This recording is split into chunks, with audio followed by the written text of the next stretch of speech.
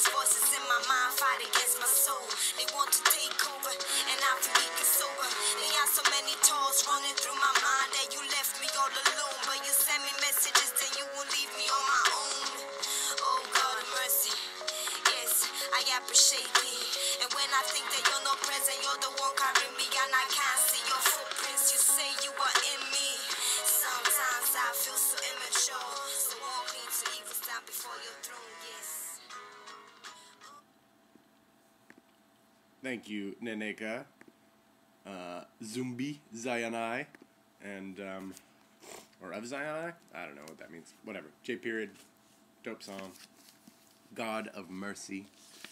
Uh, today is a sweet one, man. I'm digging it. Genesis sixteen thirteen. She gave this name to the Lord who spoke to her. You are the God who sees me. For she said, I have now seen the one who sees me. God sees you.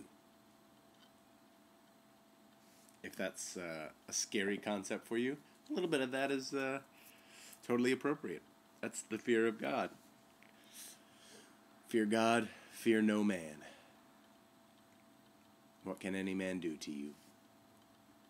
But God sees you. The one who sees me.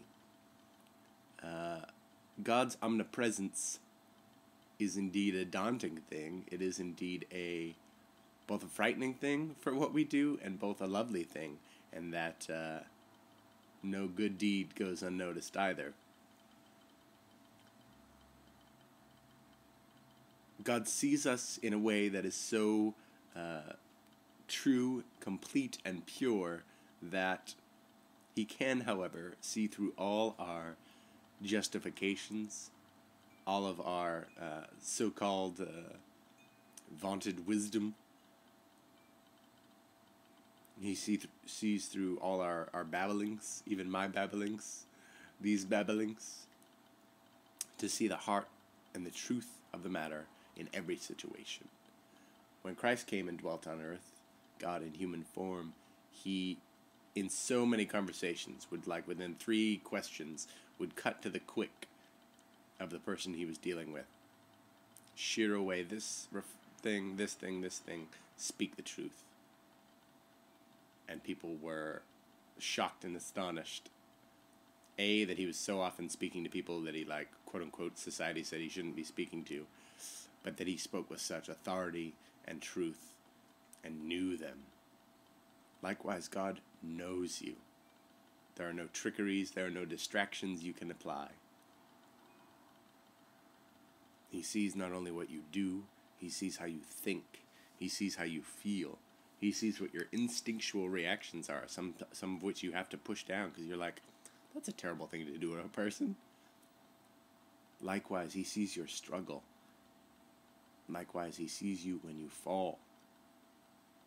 Likewise, he sees you when you are trying so hard to be righteous and are failing or succeeding.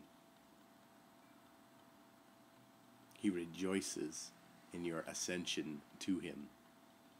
He rejoices that you climb the edifice of his word to get closer to the light, God Himself, the shining Shekinah glory of God, should be our first and only pursuit. Let everything else be maintenance. Let us well maintain. Let us be shrewd in our maintenance. But His heart, when He sees us, His heart is gladdened at a, uh, for lack of a better metaphor, a, a northerly journey, an ascension when we descend, his heart is troubled. And he sees it all. He sees every footstep. He sees every, like, glance back down or glance up.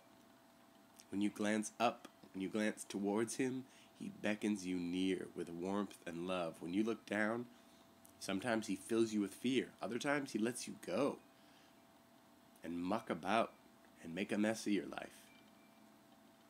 And he is always there when you look towards him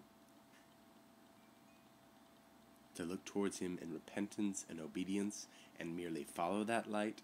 Because, man, we make this whole thing into a climb. into a trek, into a trudge. But there is clarity gained from knowing his eye, the eye of God, sees all that you do. I've often thought it would be genius if we could find a way to put all our thoughts on like a cool rotating thing on our forehead so whenever we were talking to someone they would they would not only hear our like deftly attuned uh, answers but they would know everything that was going on. I think it would help us find right thought much quicker. Or some of us would just delight in it and use it to make jokes. Um, but know that this day that you are seen you are seen and understood i see you James Cameron's going to come after me for that one. But God sees you through and through. So behave accordingly, if only for today, and let tomorrow be a rebirth of the same. Amen. Selah. Peace be unto you.